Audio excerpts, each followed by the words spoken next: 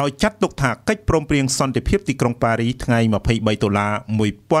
1991ជាថ្ងៃប្រវត្តិសាស្ត្រគណៈបកសម្ព័ន្ធភាពរួមមានគណៈបកភ្លើងទៀនគណៈបកឆន្ទៈខ្មែរគណៈបកប្រជាធិបតេយ្យមូលដ្ឋាន និងគណៈបកកែតម្រង់កម្ពុជាបានសរសេរថារយៈពេល32ឆ្នាំកន្លងទៅ គោលការណ៍គ្រឹះនៃកិច្ចព្រមព្រៀងសន្តិភាពទីក្រុងប៉ារីមិនត្រូវបានគោរពនិងអនុវត្តឲ្យបានពេញលេញឡើយដូចជាការបង្រួបបង្រួមនិងឯកភាពជាតិការគោរពសិទ្ធិមនុស្សលទ្ធិប្រជាធិបតេយ្យសេរីពហុបកឯករាជ្យភាពនៃប្រព័ន្ធតុលាការចំណុចទាំងអស់នេះក៏ត្រូវសម្ព័ន្ធភាពឆ្ពោះទៅអនាគតរំលឹកដល់រដ្ឋាភិបាលផងដែរសេចក្តីថ្លែងការណ៍របស់គណៈបកសម្ព័ន្ធក៏បានសម្ដែងនៅការគោរពដឹងគុណនិងចងចាំជានិច្ចនៅវីរភាពរបស់វីរៈជនខ្មែរស្ថាបនិកទាំងអស់នៃកិច្ចព្រមព្រៀងសន្តិភាពទីក្រុងប៉ារីនិងបណ្ដាប្រទេសហត្ថលេខីទាំងអស់ដែលបានខិតខំប្រឹងប្រែងស្វែងរកដំណោះស្រាយក្នុងការបញ្ចប់សង្គ្រាមស៊ីវិលជាង2ទសវត្សរ៍នៅកម្ពុជាដោយសម្ព័ន្ធភាពក៏បានអំពាវនាវឲ្យប្រទេសហត្ថលេខីទាំងអស់បន្តជួយជំរុញការអនុវត្តកិច្ចព្រមព្រៀងនេះឲ្យបានពេញលេញដើម្បី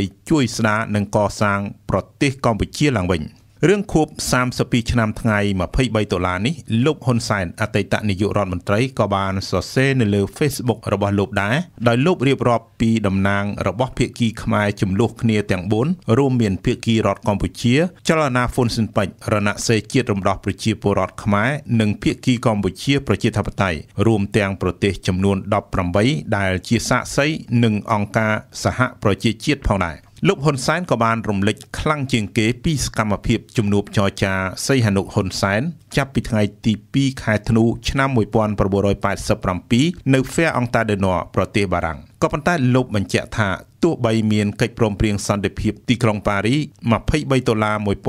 1991ក៏ពិតមែនប៉ុន្តែសង្គ្រាមស៊ីវិលនៅកម្ពុជា នៅតែបន្តដែលបញ្ហានេះបង្កដោយភាគីកម្ពុជាប្រជាធិបតេយ្យប៉ុលពតលោកថាក្រោមនយោបាយឈ្នះឈ្នះរបស់លោកសង្គ្រាមស៊ីវិលត្រូវបានបញ្ចប់ទាំងស្រុងនៅឆ្នាំ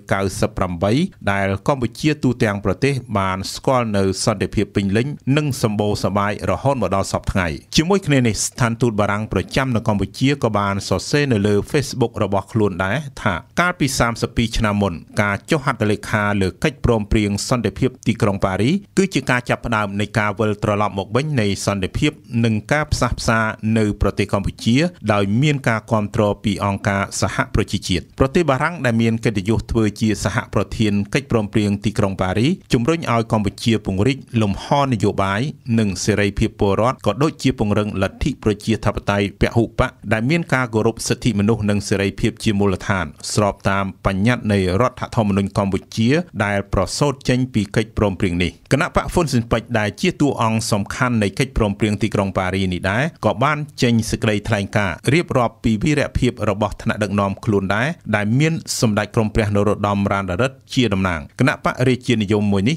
ក៏បានអំពាវនាវដែរដល់ ពលរដ្ឋខ្មែរគ្រប់និន្នាការនយោបាយឲ្យបន្តថែរក្សាស្មារតីនៃកិច្ចព្រមព្រៀងសន្តិភាពទីក្រុងប៉ារីនៅក្នុងប្រទេសអូស្ត្រាលីនោះវិញលោកសំរងស៊ីដែលជាប្រធានស្ដីទីអតីតគណៈបកសង្គ្រោះជាតិក៏បានលើកឡើងដែរថាកិច្ចព្រមព្រៀងសន្តិភាពទីក្រុងប៉ារីនៅតែមានសុពលភាពរស់រវើកមកដល់បច្ចុប្បន្នដោយលោកស្នើទៅហត្ថលេខីទាំងអស់ជំរុញឲ្យមានការគោរពកិច្ចព្រមព្រៀងសន្តិភាពទីក្រុងប៉ារីថ្ងៃ23ដុល្លារ1991នេះដែលជាសន្ធិសញ្ញាអន្តរជាតិជាមូលដ្ឋានច្បាប់ដើម្បីធានាឲ្យប្រទេសកម្ពុជា មានសុខសន្តិភាពយ៉ាងពិតប្រាកដនេះបើតាមសំណេរនៅលើ Facebook លោកសំរងស៊ី